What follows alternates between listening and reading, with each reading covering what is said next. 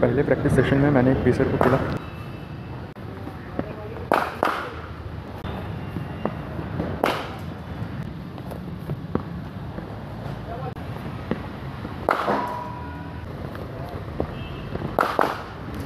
Smart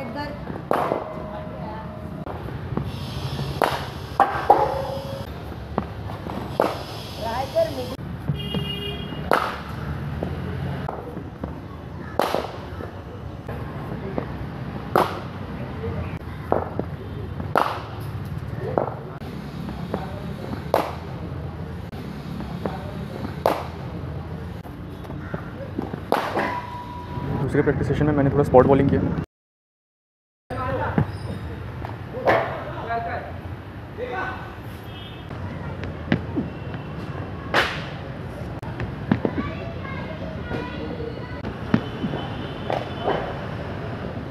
तीसरे practice session में मैंने सॉफ्ट डिफेंस का ड्रिल किया, जिसमें ज़्यादातर बॉल को आँखों के नीचे डिफेंस करने पर ध्यान दिया।